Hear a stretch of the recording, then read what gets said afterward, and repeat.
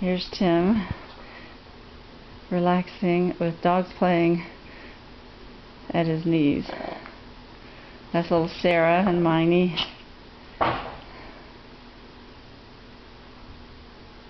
Sarah's so cute. She's so playful and she's getting where she's a really snuggly dog too.